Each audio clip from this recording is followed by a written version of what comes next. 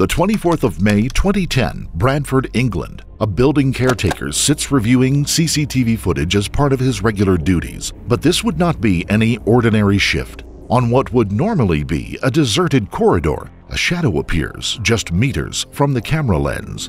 Approaching the camera with ill deserved confidence and a sick grin, a man of medium build with dark hair brazenly walks up to the camera, stares down the lens, raising his middle finger of his left hand and tightly gripping a crossbow in his right. But this was not the first encounter that this man had with serious crime. In fact, his reign of terror had begun almost 12 months earlier. This is the chilling story of the man who dubbed himself the Crossbow Cannibal and who would leave an unknown number of bodies in his wake. Before we begin, we would like to send our sincere condolences to the family and friends of Susan Rushworth, Shelley Armitage, and Suzanne Blamires, who all had their lives cut short by one sick individual. Stephen Sean Griffiths was born on December 24, 1969. He was the firstborn son of food salesman Stephen Griffiths Sr. and his mother Moira, who worked on telephone switchboards. Although his father earned an honest living, Stephen learned about crime early through his mother. Despite having a respectable job, she herself was convicted of fraud after secretly conning people out of their money. His mother and father divorced when he was only 13, when he and his siblings went to live with their mother despite her criminal record. After the divorce, Griffith's behavior seemed to change. He had always been a bit of an odd child, but nothing that concerned the family too much. Unfortunately, that was about to change. His mother lived, shall we say, a permissive lifestyle. What is stranger is that her son Stephen would spend much of his time watching her have sexual relations in the garden with multiple men. By the age of 17, Griffiths was out of control. He had little time for society or trying to fit in. From his early teens, he made a regular habit of going out shoplifting. At the age of 17, one such outing would take his activities to a whole new level. While stealing from a shop, he was spotted by the clerk who attempted to apprehend him. But Stephen wasn't going to let anyone stand in his way. After quickly drawing a knife, he slashed the man's face. Fortunately, he didn't manage to evade the law and was quickly arrested and subsequently sentenced to three years in a Young Offenders Institute. Due to his age, he only served one year of his sentence, but on reflection, this was a mistake. During his time with probation officers and psychiatrists, he repeatedly and openly told them that he fantasized about being a serial killer. Tragically, no one seems to have taken his words very seriously, which would prove very costly later in life. But for the time being, he appeared to be making an effort to make changes in his life, having enrolled at Bradford College where he was studying psychology. The red flags never really went away for authorities. In 1989, he was in trouble again for possessing an air pistol which had been used to shoot birds and then dissect them. For this, he received 100 hours of community service. In 1990, he would graduate to far more violent crime. After meeting a girl in the street, he pounced on her and held a knife to her throat, for which he was sentenced to two years in prison. It was during this time behind bars that Griffiths seems to have developed an interest, or you could almost call it an infatuation, with infamous serial killers in the UK. He bought numerous books on Jack the Ripper, who was known to have killed at least five sex workers in Whitechapel, London between 1888 and 1891, and was never caught. He also focused on the Moors murders, Myra Hindley and Ian Brady, who murdered at least five children between 1963 and 1965, burying their victims on Saddleworth Moor, which borders both Manchester and Yorkshire. Both died in prison. Finally and disgustingly, his personal favorite was Peter Sutcliffe, also known as the Yorkshire Ripper. Sutcliffe murdered at least 13 women and was convicted of attempting to murder an additional seven others between 1975 and 1980. Having first started in residential areas, then moving to more vulnerable targets, sex workers, Sutcliffe died in prison in 2020 at the age of 74. Despite taking time out of his education for his little visit to prison, Griffiths did continue his studies. After being released from prison, he earned his bachelor's degree in psychology and then enrolled in the University of Bradford, where he began studying for his doctorate in 2004. But outside of the classroom, his behavior became more erratic he was regularly seen walking his two pet lizards down the road on dog leads. One neighbor that was invited to his flat explained how he thrived off of watching the lizards eat live rats. One of his former friends also explained how Griffiths once ate a live rat himself in front of him.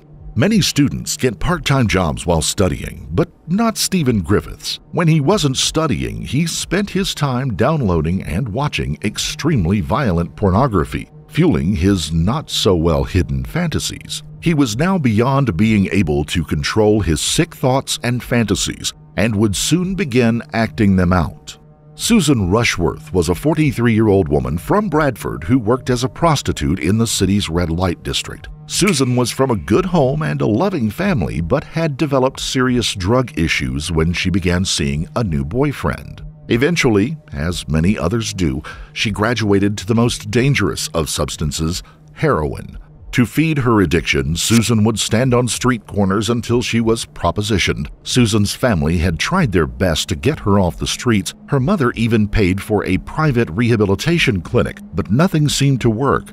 The drugs had a hold of her, and with a substance like heroin, even if someone does manage to get clean, the cravings of the body never really go away. On the 22nd of June 2009, Susan had been with her family at her mother's home. She was once again trying to change her life and had begun a course of methadone, a heroin substitute given free to drug addicts in the UK to try and help them get clean. At 1 p.m., Susan started walking down to the drugstore or chemist for her medication, telling her family that she would only be gone for a couple of hours. Just after 1 p.m., she was seen boarding a bus to town where the chemist was located. Hours went by with still no word. Susan wasn't answering her phone, which the family said was very unusual for her. No matter what state of mind she was in, she would always try to stay in touch. Hours turned into days, days into weeks, but still there was no sign of Susan. Multiple public appeals were made by the police and the family, but all to no avail. Susan's family walked the streets of the red light district asking all of the women if they had seen her, but again, nothing. Police even dredged a local lake, but there was no sign of Susan anywhere.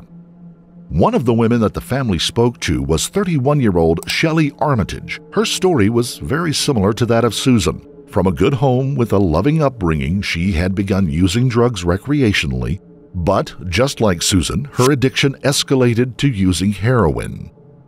April the 26th, 2010.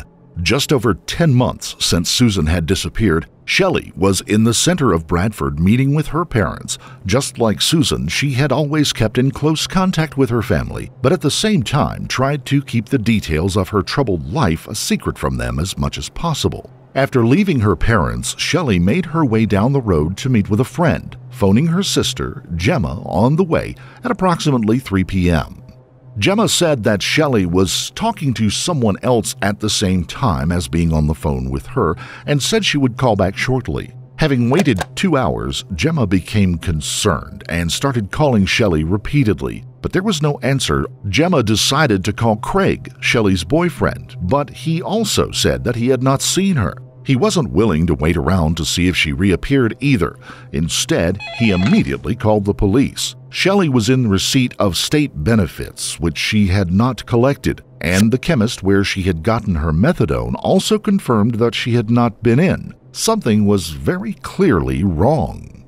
Just like Susan's family months earlier, Shelley's family began trawling the streets and asking the other working girls if they had seen her. Shelley was slightly different to Susan in that she was very popular in the local area. Everyone knew her. But sadly, this did not help in the hunt for her. No one had seen her around.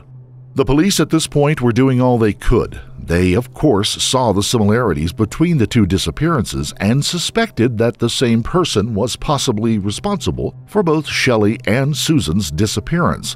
But the lack of evidence left the investigation stalling. Not a single witness had seen either of them, and there was only one brief image of Shelley walking down the street, which didn't provide any new leads. The police were assigned large teams of officers to search the streets, parks, and basically all of the surrounding areas near the red light district. But the searches again yielded no results. Both women had disappeared without a trace, but this case was about to get even worse for the family and friends and the police that were trying to solve it. News of the girls' disappearances was spreading fast, but sadly it didn't stop the other working girls from continuing to wait on street corners, putting themselves at extreme risk. Suzanne Blamires was a 36 year old sex worker in the same area as Susan and Shelley, Sadly, she too had fallen into the trap of heroin. Suzanne and her friends began using recreational drugs when they went out around town. Thankfully, her friends were able to limit their usage to those nights out, but Suzanne was unable to do this. Unable to get a full time job because of her drug ridden state, she was forced to turn to prostitution to feed her addiction. Suzanne's parents were devastated when they discovered that their daughter was using heroin and tried everything they could to stop her. Her dad even used to lock her in the house in a desperate bid to stop her from getting a hold of any drugs. This did work for a time, but of course, you can't lock someone in a house indefinitely. By the 21st of May 2010, Susan had been missing for almost 11 months, and Shelley had been missing for just under one month. Suzanne Blamires is dropped off at home by her mother after spending the night at her parents' home. Suzanne promised to call her mom, Nikki, sometime later that day, but that call never came. Her parents weren't too worried at the time, despite being devastated by her life choices. They knew what she was doing to earn money and assumed that she had gone out uh, working. But the situation would become much more worrying by the next morning. A man knocked on their door. It was Suzanne's boyfriend, asking if they had seen her. This was very irregular. Suzanne, just like the other girls who had gone missing, always stayed in touch, but now she had not contacted her family or boyfriend. The police were now not just searching for two girls, but three. But the police were finally about to get a new lead, a very strong one. Holmfield Court is a converted block of flats situated near the red light district. A caretaker was working inside the flats three days after Suzanne's disappearance. Part of his job was to review CCTV footage from the previous days to check that nothing was out of the ordinary happening in the building. This would usually be a monotonous task, but of course, not this time.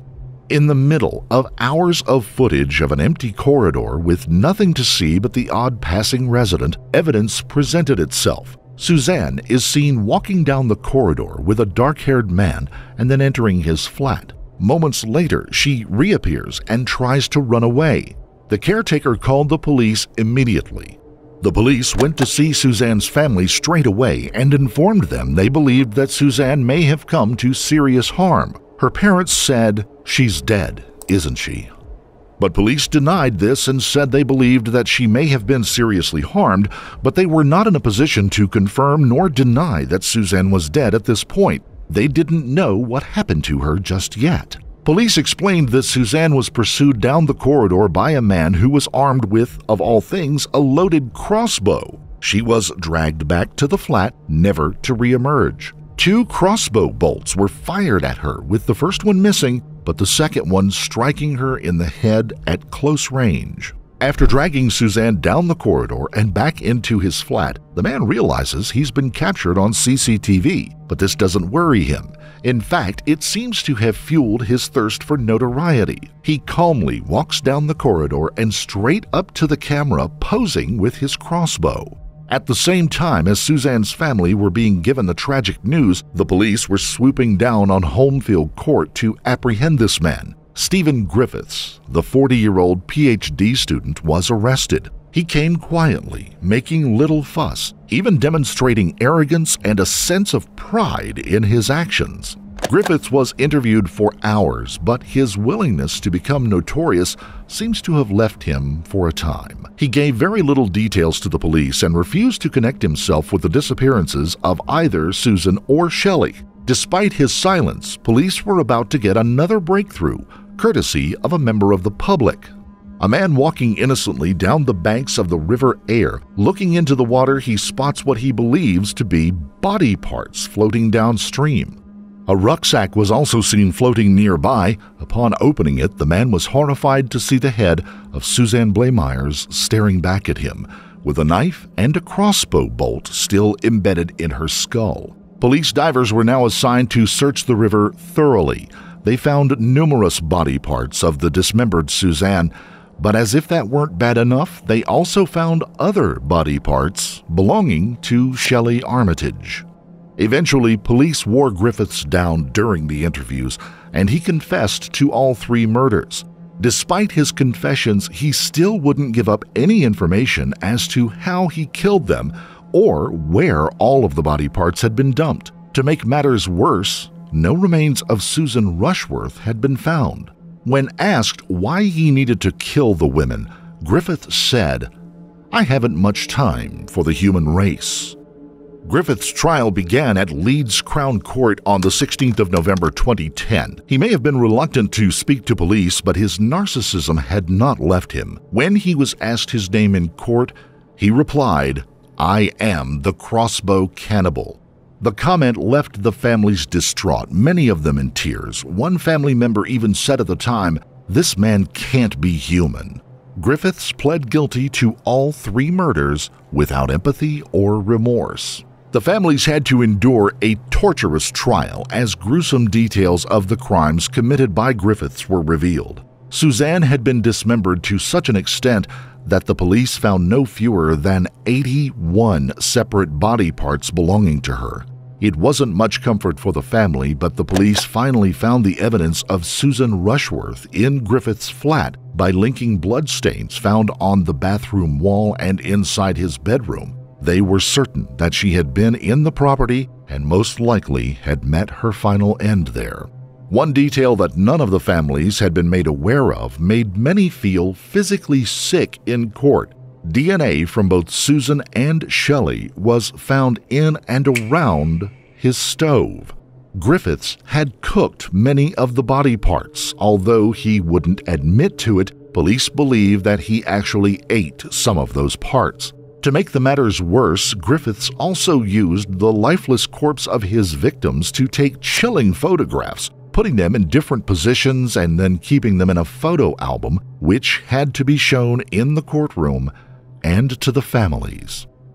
Disgustingly, this is not uncommon amongst serial killers. They are known as trophies. For example, Jeffrey Dahmer preserved and kept the skulls of his victims. Ted Bundy did the same thing, and John Haigh, the acid bath killer, kept his victim's dog. It is also common, although you may not hear about it much, for police to secretly record the funerals of the murder victims. It is well known that murderers will often attend the funerals of the victims. This is how the sick criminal mind works. Psychologists believe that it is a way for murderers to take themselves back to the crimes they have committed when they no longer felt like pathetic nobodies and still had some power over their victims. On the 21st of December 2010, the judge, Mr. Justice Openshaw, sentenced Stephen Griffiths to three life sentences and ordered a whole life term without parole. It was little consolation for the families, but at least they could take some comfort in the fact that this monster would never walk the streets a free man again. Stephen Griffiths was well known to police, and it was revealed after the trial that he had been under police observation for two years before he began to commit murder. They were even aware that Griffiths was taking more than a passing interest in dismemberment as he was purchasing numerous books on the subject. They liaised with the housing association that was responsible for the block of flats he lived in, informing them that Griffiths was a potential risk to anyone else living there. As a result, the Housing Association installed new CCTV systems which captured Griffiths chasing Suzanne Blamires down the corridor and eventually to her death. But of course, this did nothing to save her. Unfortunately, the police had no grounds to rearrest Griffiths at that time or even give him an antisocial behavior order for his previous crimes. He had served his time. All they could do was watch and wait for him to make the wrong move. Had the psychiatrist who had warned authorities of Griffith's unstable mental state had been listened to, it is possible he could have been sent to a mental hospital or sanctioned under the Mental Health Act, but unfortunately, these concerns were not acted upon. The Prime Minister of the UK at the time, David Cameron, opened a conversation about reducing the punishments handed down to women who solicit on street corners, but stopped short of holding a debate about legalizing prostitution in the UK some might say, in true political fashion, members of the parliament paid lip service to the crime, but after the initial shock and horror of these crimes committed by Griffiths, nothing was ever done to make these women safer. Prostitution remains illegal in the UK with a maximum punishment of seven years in prison and a £5,000 fine. It is known as the oldest profession in the world and divides opinion in many countries. Some say it is degrading and look down on people who turn to it to make money. Others say everyone has the right to use their bodies as they see fit. In countries where it is illegal, prostitution still goes on every day regardless of the potential consequences. In Amsterdam, Holland, prostitution is legal and the girls are given a safe environment to conduct their business. They have panic buttons and security guards to keep them safe, a much better environment to work in than standing on a street corner hiding from police and putting themselves at risk by getting into any passing vehicle or going to a stranger's home. This case proves that beyond a doubt. Susan, Shelley, and Suzanne had all fallen on hard times as the result of their drug addictions, but they didn't deserve to die for it. None of them were old and had many years of living ahead of them with a chance to change their lives. Through their desperation to feed their habits, they were willing to go to anyone's home to earn what money they could. All, tragically, were unfortunate enough to be approached by Stephen Griffiths, who decided the easiest way for him to commit his horrific crimes and act out his disturbing fantasies was to prey on some of the most vulnerable women in society we will never know what they could have become in the future. All came from good homes and loving families who were willing to help and support them. There is every chance they could have turned their lives around. But thanks to the actions of one sick individual, they were not given that chance. Rest in peace, Susan Rushworth, Shelley Armitage, and Suzanne Blamires. If you found this story compelling, don't forget to like the video, comment down below your take on it, and please subscribe to the channel. Less than half the folks who watch our videos are subscribers. It's free and easy, and it makes it possible for us to continue to bring you great true crime content. Also, hit the notification bell in order to stay up to date each time we reveal a new shocking case. Until next time, stay safe and keep your eyes peeled. You never know what's lurking in the shadow.